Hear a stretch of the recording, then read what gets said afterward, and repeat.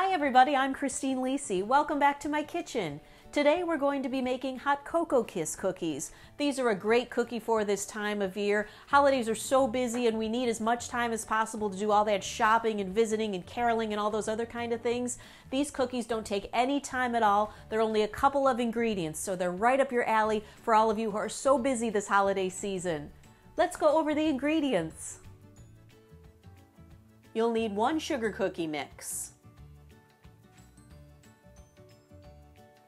one quarter cup instant hot cocoa, any flavor. I'm using dark chocolate today. 10 tablespoons of butter, softened to room temperature. 6 tablespoons of water. And a bunch of Hershey Kisses, any flavor you want to use. I'm using the classic milk chocolate today. Step 1. Put your cookie mix in your mixing bowl, add your hot cocoa, and then you'll stir this all together. Doesn't take too long to blend this all together with a spoon or a spatula. And then add the butter and the water. You'll want to use a stand mixer or a hand mixer for this one, trust me. Then you're going to blend this all together, these four ingredients, for a couple of minutes until it all comes together.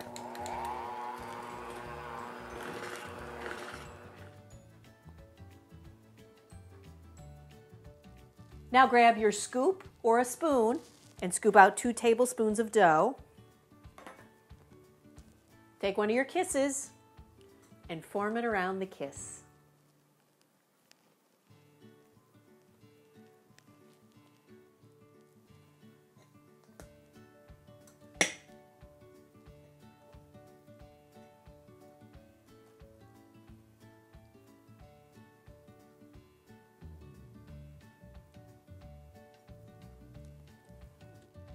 Now, just a little tip here. I chill the cookie for probably about an hour, just so the cookies don't spread very much. Preheat your oven to 375 degrees. Stagger your cookies on a sheet that's been lined with nonstick baking liners and bake them for between 9 and 12 minutes. Now one cool thing I thought about doing since these are hot cocoa cookies is put a toasted marshmallow on top. So what I'm going to do is spray a little pan with cooking spray. Take some marshmallows, whatever kind you want. They could be the extra large or the minis or the medium size ones. And you can put a bunch in your pan. And we'll broil these for a couple of minutes and when they're done, we'll scoop out little pieces and put them on top of the cookies. I toasted these for about 90 seconds with the broiler turned to high.